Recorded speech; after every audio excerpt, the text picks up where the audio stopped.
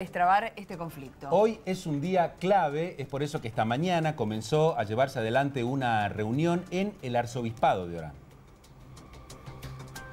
La justicia además está investigando si los manifestantes del Tabacal robaron armas y golpearon a los efectivos policiales. Ya hay denuncias por resistencia a la autoridad, robo agravado y daños a los móviles, entre otras. Mientras tanto, en estos momentos se está llevando adelante la reunión que recién mencionábamos en el Arzobispado de Orán y entendemos que de esa reunión puede salir finalmente la solución a este conflicto. Allí está siguiendo este tema desde muy cerca nuestro compañero de trabajo, Juan Carlos Corbacho. Juan Carlos, ¿cómo te va? Muy buenas tardes. ¿Cómo están, Fabián, Emilio? Un abrazo para ustedes, buen mediodía. Buen mediodía. Bueno, contame qué ha pasado durante la mañana. Durante la mañana, la expectativa de toda una región, literalmente, toda una región con mucha expectativa. Los intendentes del departamento, gran parte de ellos, Julio Jalí de Pichanal, Jorge Gallardo por Irigoyen, Marcelo Lara Grossi parte de su gabinete formando parte de esta reunión. También participan algunos funcionarios del Poder Judicial que estuvieron en la jornada de ayer, diputados provinciales del departamento, el senador, la comunidad, toda está expectante de lo que pueda ocurrir en la jornada de hoy. Se confirmó finalmente la presencia del doctor Juan Carlos Zambura, jefe de Relaciones Institucionales y Recursos Humanos de, de Tabacal. La misma también presencia se confirmó del ingeniero Hugo Rossi, es la máxima autoridad que tiene la, la empresa tabacal aquí en la región. Esto ocurrió hoy pasada a las diez y media de la mañana, cuando arribaron, primeramente estuvieron reunidos en la casa del de el obispo, Monseñor Gustavo Sancheta, también está presente el ministro Eduardo Costello, el secretario de Trabajo, todas las partes hablaban de expectativa se restaba conocer cuál sería la palabra de Tabacal. Hace minutos nada más acaban de permitir recién el ingreso a la prensa para poder tomar algunas imágenes. Está Amura y Rossi, pero sin poder dar ningún tipo de declaraciones. Lo que sí ha trascendido es que la empresa habría realizado una última ofrecimiento, un último ofrecimiento al sindicato, quien lo estaría analizando y se aguarda también a ver cuáles son las medidas que se toman. Lo que había propuesto el sindicato era judicializar el cuarto turno, que la justicia eh, en lo laboral federal sea la que determine si es correcto o no el cuarto turno. Desde la empresa habrían acercado una contrapropuesta y la estarían analizando en este momento. Eh, Juan Carlos, antes de ir al tema de las denuncias, te quería consultar cómo ha caído en el ánimo de quienes participan de esta reunión la presencia de las autoridades del Tabacal quienes en un primer momento habían anunciado no presentarse en las negociaciones si seguía existiendo este clima de hostilidad.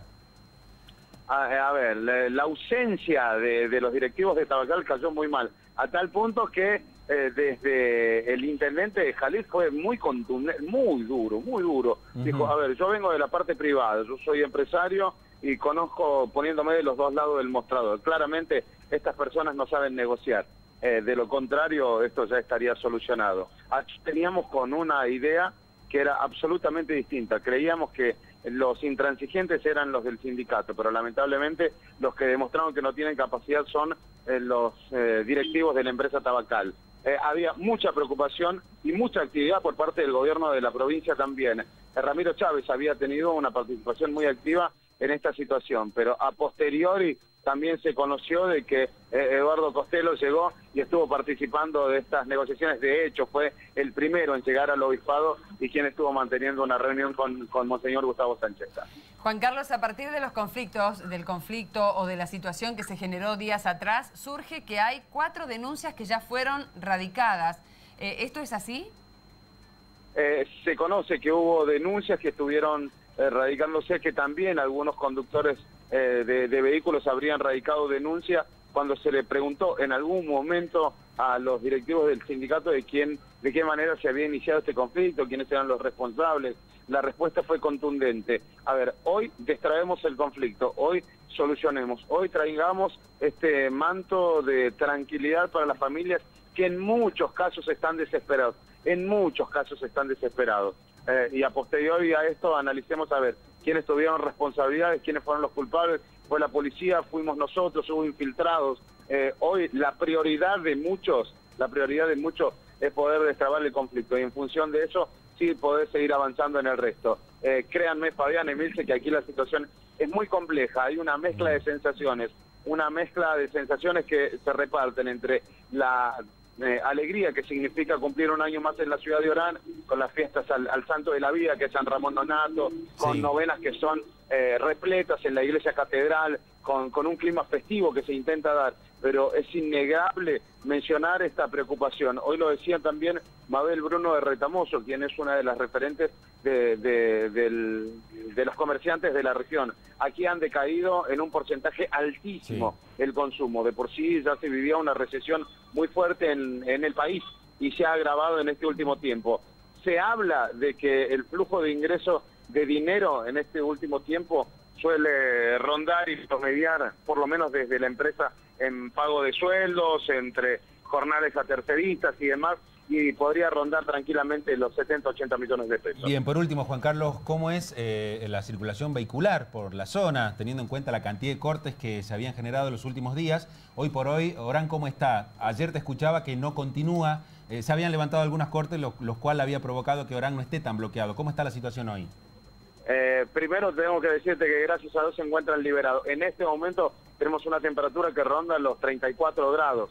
Eh, el calor es intenso siempre aquí en el norte de la provincia de Salta. Eh, por suerte los cortes se han liberado, si se quiere, han, desde ayer ya se habían levantado los de la cabecera sur del puente del río Colorado y también el de la planchada en el Tabacal. Lo que sí también se había mencionado es que en el día de hoy estaba previsto que comiencen a ser mucho más flexibles el del ingreso a la ciudad. Bueno, directamente alrededor de las 7 de la mañana se practicó, se, levantó el corte y, desde allí quedó liberada el tramo de, la ruta, eh, si se quiere, lo hacían referencia a que era una muestra de, que se estaba actuando, tratando de, sumar y de tratando de demostrar que aquí lo que se pretende es pacificar y que, se solucione el conflicto. Eh, de verdad, Fabián, Emilce, que aquí hay muchísima preocupación de toda la región, de toda la región, porque créanme, y a modo de anticipo y sin ánimo de ser alarmista, ni, ni, ni, dramaturgo, ni nada por el estilo,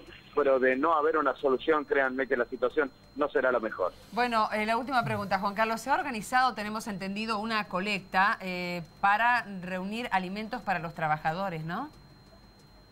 Sí, la lleva adelante un partido político eh, y cuando la política comienza a involucrarse eh, hay muchos que prefieren retirarse del lugar. Lo que sí se había organizado desde la jornada de ayer era, eh, durante la tarde comenzaron a dar la merienda. ¿Quiénes lo organizaron? El intendente de Hipólito Yrigoyen, Jorge Gallardo, y lo hizo en, en, en, paralelo con, con, el cura párroco de Hipólito Yrigoyen, el padre Rubén, el, el padre Rubén, fue quien, quien eh, junto al intendente realizaron esa, esa, esa merienda que a posteriori se transformó en desayuno y que para el día de hoy también estaba previsto que se transforme en almuerzo. Perfecto. Juan Carlos, muchísimas gracias por esta comunicación. Sabemos que vas a seguir apostado en este lugar, así que como salteños realmente estamos muy esperanzados que, esta, que este conflicto se solucione en las próximas horas por el pueblo de Orán, para que vuelva la paz en Orán. Seguramente vamos a, a requerirte nuevamente en un contacto dentro de algunos minutos cómo no, quedamos aquí a la espera y ojalá que el próximo contacto sea para contarles de que